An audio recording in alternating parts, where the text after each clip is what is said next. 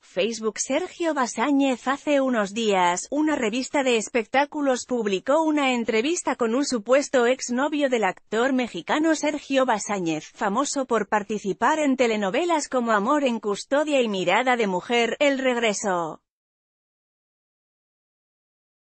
Se trata de Carlos Esqueda, de quien se dice también es actor y está en el mundo de la política.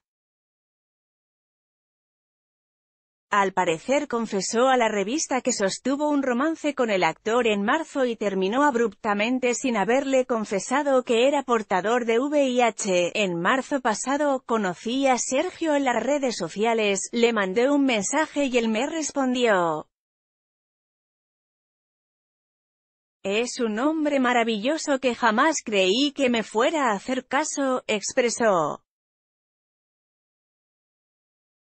Además, Esqueda confesó, sí, todos los rumores que había en las redes en torno a mí y a Sergio eran ciertos, comenzamos a salir en marzo pasado, después de conocernos por las redes sociales.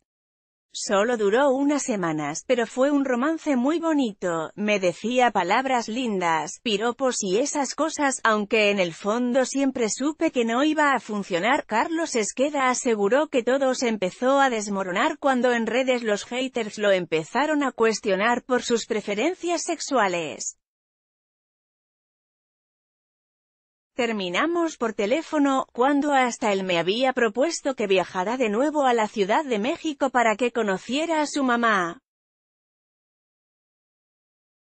He sido muy honesto, pero con Sergio me guardé que tengo VIH, pero siempre me protegí con él, reveló Carlos. Esta situación puso en jaque a Basáñez, quien durante la develación de la placa por el fin de la puesta en escena El Padre, en donde actuó, decidió dar la cara y aclarar los rumores de su supuesta relación con Carlos Estrada. Yo no hablo de chismes ni me mi vida privada, lo saben. Nada más hablo de mi trabajo, me he dedicado a trabajar, me he dedicado a actuar, en eso estoy, dijo Sergio Basáñez, rumores romance Sergio Basáñez. Carlos Esqueda actor mexicano rompe el silencio. Vida íntima supuesta relación Sergio Basáñez y político.